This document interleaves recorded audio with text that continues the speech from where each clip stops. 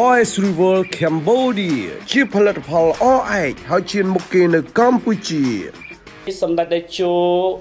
បានថ្លែងជូនពរនិងអរគុណទៅដល់ជនរួមជាតិទាំងអស់រួមមានមន្ត្រីរាជការប្រជាពលរដ្ឋកម្មករកម្មការិនីដែលយោគយល់ហើយចូលរួមជាមួយគ្នាទប់ស្កាត់នៅការរីករាលដាលនៃជំងឺ Covid-19 ដោយបន្តធ្វើការជាធម្មតានៅក្នុងថ្ងៃចូលឆ្នាំនេះ។ សម្ដេចតេជោនាយរដ្ឋមន្ត្រីនៃប្រជាណាចក្រកម្ពុជា បានផ្ញើសារជូនពរដល់ជនរួមជាតិទាំងអស់នៅក្នុងឱកាសបុណ្យចូលឆ្នាំថ្មីប្រពៃណីខ្មែរ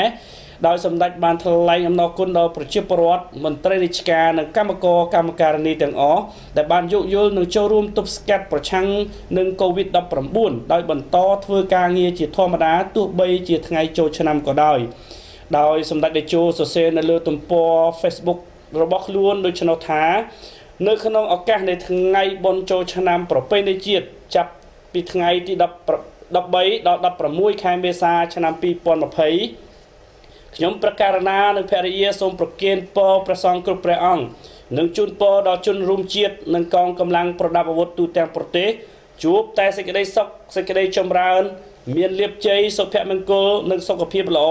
ជាផុតពីជំងឺទាំងឡាយរួមទាំងជំងឺ Covid-19 សម្ដេចតេជោបានបន្តថា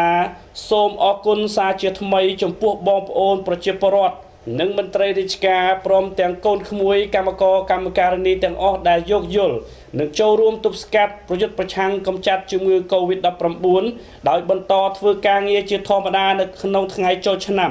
ទន្ទឹមនឹងនេះសូមបន្តធ្វើការ តាមការណែនាំរបស់ក្រសួងសុខាភិបាលដើម្បីសុវត្ថិភាពសុខភាពអាយុជីវិតទាំងអស់គ្នា។